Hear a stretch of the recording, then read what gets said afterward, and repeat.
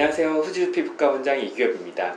오늘은 여름철 피부 질환 종류와 해결법에 대해서 말씀드려 보겠습니다. 어, 여름철 휴가지에서 발생하는 가장 흔한 피부 질환은 아무래도 햇빛 때문에 생기는 일광 화상이고요.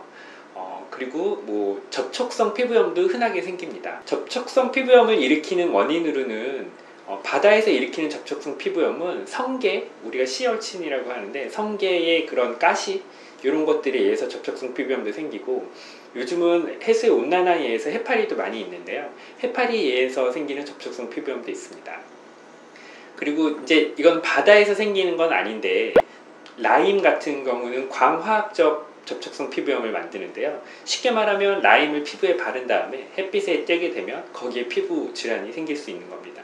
이제 그거는 알레르기성 반응이기 때문에 누구에서나 나타나는 건 아니고 복숭아에 알레르기 있는 사람만 복숭아 먹으면 알레르기가 나타나지 라임에 대해서 알레르기 있는 사람만 라임을 바르고 햇빛에 쬐을 때 알레르기가 나타나는 거니까 뭐 어쨌건 내가 알레, 라임에 대해 알레르기가 있는지 없는지 모르니까 라임은 피부에 닿은 채로 어, 햇빛에 노출은 안 되시는 게 좋겠습니다. 여름철이 되면 이제 타신, 타는 건 싫고 뭐 그러니까 선크림을 많이 바르기 때문에 뭐 그에 의해서 접촉성 피부염이 생기거나 여드름이 생기거나 여드름양 발진이 생기실 수도 있습니다. 이렇게 생긴 피부 질환에 대해서 어떻게 막 휴가철에서 막 병원 가기도 그렇고 바로바로 이제 처치를 해야 되는데 어떻게 하면 좋을지 그거에 대해서 좀 말씀드려 보겠습니다.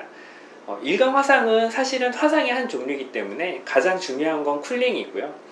뭐 시원하게 해주는 게 제일 중요하고 많이 이제 빨갛게 되고 바로 막 수포가 올릴 정도로 되면은 피부과를 가시는 게 제일 좋은데 피부과를 가기 어렵다면 쿨링을 충분히 하고 어, 진정작용이 있는 것들 대표적으로 무슨 알로에 아니면 오이 아니면 감자 이런 것들을 긴급하게 팩을 하는 것도 도움이 되시고요. 염증 반응이 심하면은 피부 손상이 더 심해지기 때문에 염증을 낮춰줄 수 있는 진통제 종류를 복용하시는 것도 좋습니다.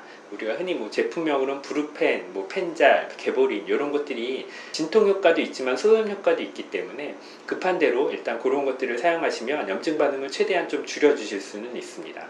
접촉성 피부염 같은 경우는 어, 해파리 같은 접촉성 피부염은 즉각적으로 나타나고 너무 심하게 나타나기 때문에 이건 사실은 병원에 가야지 해결이 될 문제고요. 이 민간요법 중에 무슨 해파리에 의한 접촉성 피부염에 뭐 암모니아를 하면 좋기 때문에 거기다 소변을 보면 된다 뭐 이런 말들이 많은데 그 해파리도 종류에 따라서 해파리에 의한 독소가 염기성인 게 있고 산성이 있, 있기 때문에 무조건 암모니아가 효과적인 건 아닙니다. 만약에 이게 염기성 독성인데 거기다가 암모니아를 부어버리면 증상이 더 나빠질 수도 있고요. 그래서 함부로 그렇게 하시진 않는 게 좋고요. 제일 좋은 거는 교과서에 나와 있기로는 바닷물로 열심히 헹궈내는 겁니다. 그 해파리 촉수에 있던 독이 피부에 좀 박혀 있을 수 있는데 이게 포자 같은 게 피부에 박힌 채로 그러니까 소금기가 없는 수돗물 같은 데 노출이 되면 포자가 터져서 반응이 더 심하게 나타날 수 있기 때문에 바닷물로 충분히 씻어주시는 게 1차적으로 제일 하셔야 될 거고요. 그 다음에는 급하게 이제 병원에 가시는 게 해파리 피부염 같은 경우에는 필요하실 거라고 생각이 되고 화장품 같은 경우에는 이제 내가 평소에 쓰던 화장품도 어, 땀이 많이 나고 햇빛을 많이 받으면 그런 화장품들도 문제를 일으킬 수 있고요. 더군다나 이제 휴가철 같은 데 보면 어, 안 쓰던 샘플들을 no. 잔뜩 챙겨가서 쓰시는 경우가 있는데 샘플 같은 경우에는 유통기한이 제대로 적혀져 있지 않은 경우도 많고 적혀져 있더라도 그걸 제대로 보지 않고 가져가시는 분도 많고 그래서 유통기한이 지나서 문제가 되는 경우도 많고요. 그리고 여름철 해변가 같은 데서 이제 사실은 그런데 만약에 햇빛이 노출되면 40도, 뭐 50도까지도 올라가는데 화장품들이 충분히 변질될 수 있는 온도입니다. 그래서 그런 것들이 의해서 변진된 화장품을 쓰다가 문제가 되시는 경우도 많습니다.